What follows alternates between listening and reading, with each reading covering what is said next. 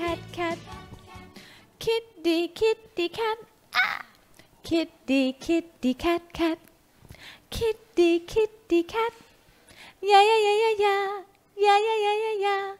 ยามาย้อนวันวานๆกันหน่อยนะคะ เสียงแบบนี้เนี่ยเชื่อว่าเมื่อ 20 ปีก่อนเด็กๆ ทุกคนร้องตามกันได้แม่นค่ะ เพราะว่าเป็นเพลงประกอบรายการเด็กยอดฮิตคิดดีแคทนะคะ ฉายหลังช่อง 9 การ์ตูน ทุกวันเสาร์อาทิตย์ค่ะ เป็นอีกรายการเด็กประจำยุค 90 เขาเลย เพราะว่าเป็นพื้นที่ให้เด็กๆ นั้นได้แสดงออกนะคะ แล้วก็มีลูกเล่นน่ารักน่ารักค่ะอย่างการเล่านิทานกับลุงต้นไม้กับลุงต้นไม้นี่ขยับปากได้ด้วยนี่ในรูปนะคะ รายการเนี่ยลาจอไปนานแล้วค่ะ แต่อดีตพิธีกรสาวน้อย ผมเปียในวันนั้นแคทริยาอิงลิชก็กลายเป็นตัวแทนความทรงจำวัยเด็กของหลาย ๆ คนนะคะ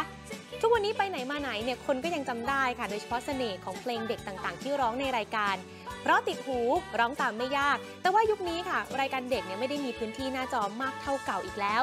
สื่อโซเชียลที่เข้ามาก็มีอิทธิพลแทนสื่อทีวี ก็น่าเสียดายที่เพลงเด็กก็หายไปด้วยค่ะ จริงๆแล้วเนี่ยถ้าสมัยก่อนเนี่ยเพลงเด็กจะเยอะมาก เดี๋ยวนี้ไม่ค่อยมีเลยเนาะแล้วก็แบบคือโชคดีที่แคทตอนนั้นทำรายการ Kitty Cat ก็จะมีเพลงเด็กๆเข้ามาแบบทุกอาทิตย์อะไรอย่างเงี้ยแล้วก็แบบ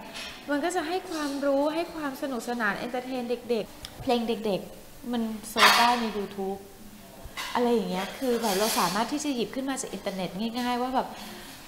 อ๋อเพลงเก่าเหรออะโอเคอะเปิดดูได้อะเพลงเด็ก ๆ เหรออะเพลงเก่าๆก็มีนี่ มันก็ยังมีอยู่ในนั้นนะไม่จำเป็นที่จะต้องมีเพลงใหม่ๆหรือเปล่า อะไรอย่างงี้อาจอาจจะเป็นความคิดอย่างนั้นหรือเปล่าก็ไม่รู้ตอนนี้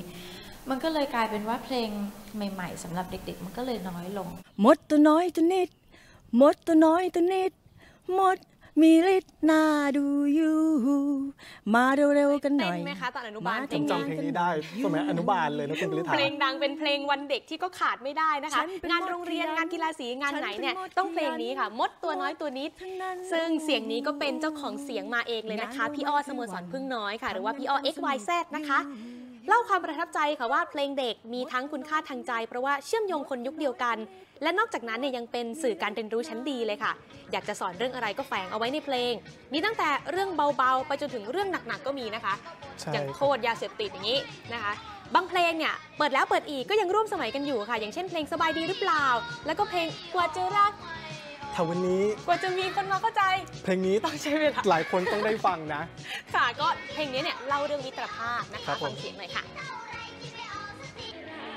อ่าก็เปรียบกันนะ ยุคนี้เนี่ยเพลงแล้วก็คลิปต่างๆเกี่ยวกับเด็กหาดูง่ายในโซเชียลนะคะ สะดวกขึ้นก็จริงแต่เด็กๆ ก็อาจจะไม่ทันแยกแยะค่ะว่าสื่อไหนเป็นสื่อที่สะอาดปลอดภัยสำหรับเด็กอย่างแท้จริงค่ะ กว่าจะมีคน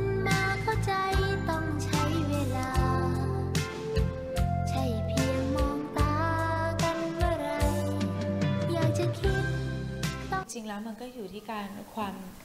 ใส่ใจของคุณพ่อคุณแม่ คือเพลงเด็ก ๆ สมัยนี้มันน้อยลงใช่ แต่ว่ามันก็ยังมีเพลงเก่าๆที่ยังให้สาระความรู้กับน้องๆได้ มันก็อยู่ที่คุณพ่อคุณแม่จะหยิบขึ้นมา เอาเพลงเหล่านี้มาให้ลูกๆฟังไหมหรือว่าอ่าไม่เป็นไรอ่างอแงฟังเล่นเกมไป เป็นกึ่งเป็นกึ่งเป็นกึ่งสอนด้วย แล้วก็เอเวซัสก็จะมีอิงเรื่องอย่างเช่น เพลงเอาไปเผานี่ก็ดัง ชุดคิดไม่ออกจะมี เพลงที่คิดไม่ออกดังเอาไปเผาดัง เอาไปเผานี่เกี่ยวกับเรื่องต่อต้านยาเสพติดเรื่องนี้สำคัญมาก โลกโซเชียลมันเข้ามาเยอะมาก แล้วเราไม่รู้อะว่าทุกวินาทีเด็กเสพอะไรอะเราเชื่อว่าคุณพ่อคุณแม่เนี่ยก็ต้องห้ามลูกไม่ได้หรอกที่จะไม่ให้เล่นโซเชียลถูกไหมแต่ว่าเราเป็นห่วงตรงนี้ว่า คุณพ่อคุณแม่มีเวลาดูแลลูกไหม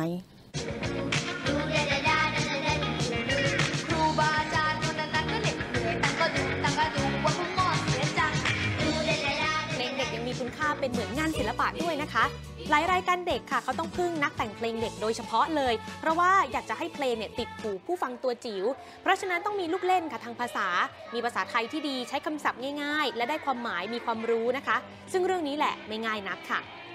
โปรดนักแขนนักแขนเจ้ายาเสพติด เอาไปเผา เอาไปเผา ทิ้งลงทะเล ต่อต้านต่อต้านยาเสพติด